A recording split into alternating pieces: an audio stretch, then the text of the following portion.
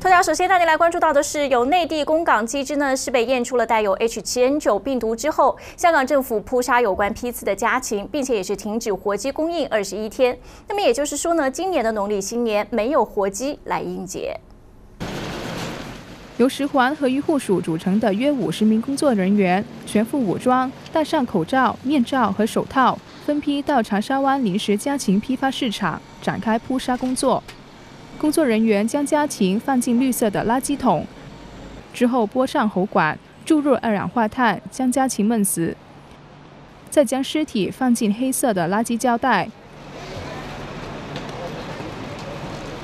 当局会先在批发市场的 B 区扑杀一万一千只来自内地的杂禽，当中包括六千只活鸡以及两千九百只乌鸡等。家禽的尸体最后会弃置到将军澳堆填区。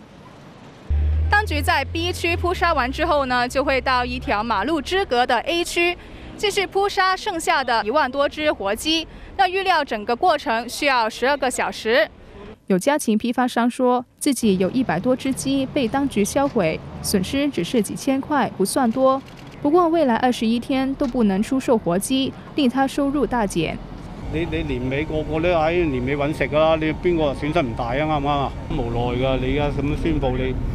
你你你你高美文都話嗰血清好敏感嘅，你只雞好翻都都有有有好翻都話有反應嘅，咁你第時你喐啲你又停噶啦，你你你停完廿一日你你你唔擔保四五日一驗你又有又停。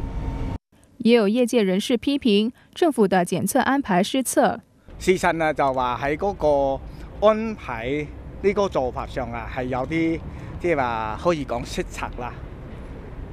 當時呢個隔離區呢，都係擺喺我哋長沙灣呢個入口處嗰度，因為按照世會規定啊，就一定要三公里嘅隔離區㗎。咁啊喺呢個長沙灣入邊隔離呢，事實就係起唔到作用。按照依家咁樣，係嘛？一有事嘅時候就喺呢三公里範圍內都要殺噶嘛。咁變成啊呢個市場玩完啦。業界建議政府在文景渡關口。帮进口鸡检测之后，另觅地方存放活鸡，等待检测结果，以免波及本地健康的鸡。政府周一晚上确认，有来自佛山的公港乌鸡复检后对 H7N9 病毒呈阳性反应，当局需销毁同一批次的家禽。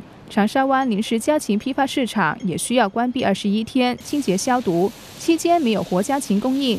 也就是说，这个新年市民没有新鲜的活鸡吃，只能吃冰鲜鸡了。亚太第一卫视刘正慧、吕仁清香港报道。